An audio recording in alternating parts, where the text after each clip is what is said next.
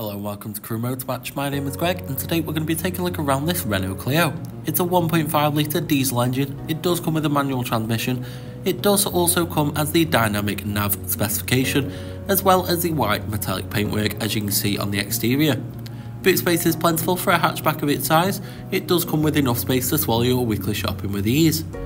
Rear passengers do get to sit on the two-tone cloth upholstered seat However, they do come with ISOFIX points perfect for child seat fixings and rear storage compartments.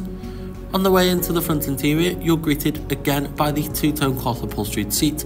These are highly comfortable and highly supportive. The driver does get the benefit of using the multifunctional leather wrap steering wheel, with controls for the voice commands and also the cruise control. Up front you do have a semi-digital dashboard with all the views that you can need for your day-to-day -day driving, and in the centre you've got an infotainment screen which is built in and touchscreen. It does come with DAB, FM and AM radio so there's plenty of music to choose from but if that's not to your music taste you can connect your phone via that Bluetooth connectivity and play your own music through there and this will also keep you in touch with your friends and family.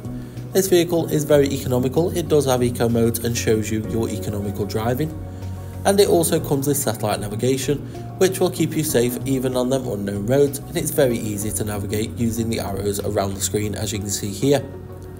As we move on now, you do get these settings which you can tailor this car to your own personal preference via the audio, display, Bluetooth and also the system settings. As we move on down now to the climate control, this does keep you both cool in the summer and warm in the winter and it's very simple to navigate around especially using them three dials.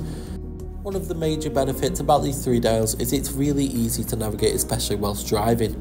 As we move on down you've got a storage compartment underneath, your manual transmission, there's your cruise control and eco mode button, extra storage and two cup holders.